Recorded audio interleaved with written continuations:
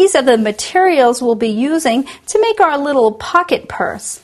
You'll need two pockets for your pocket purse. And they don't necessarily have to be made, um, they, they don't have to be from the same pants. They don't have to be the same size. Here's an example of one that used a larger pocket on one side and a smaller pocket on the other side, and we just cut the fabric a little bigger. So your pockets don't have to be exactly the same size.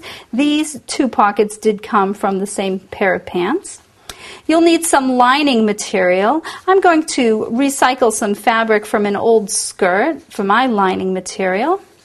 And you'll need something for the strap. You can either make the strap out of denim or you can make the strap out of something like this. I found this old soft leather belt at the thrift, and I'm going to use that for my strap. You'll need some heavy duty sewing needles for your sewing machine. This is a denim and jeans needle, and you'll need some pins and some good sharp scissors.